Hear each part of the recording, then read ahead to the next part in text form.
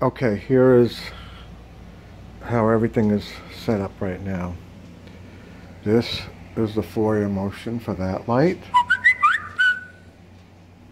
This is the motion sensor to turn off the bathroom lights, those two doors down there.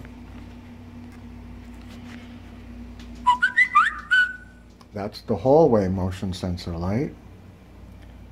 And I'm going to go into the bathroom.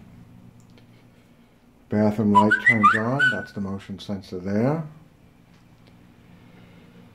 I wait a second, and then I come out,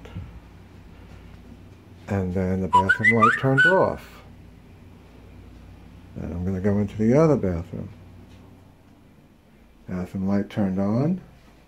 Wait a second.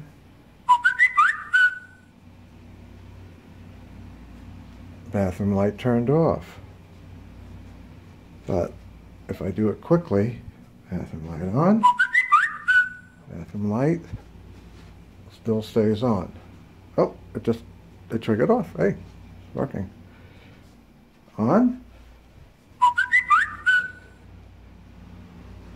And it's still on. So this is, oh, it just turned off. So it needs like a little second to reset. So it's all working. Kitchen light goes on.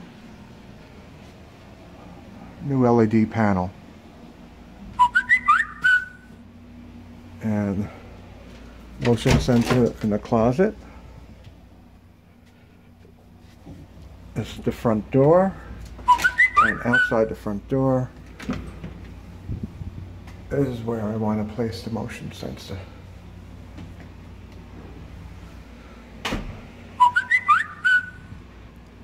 And that's it.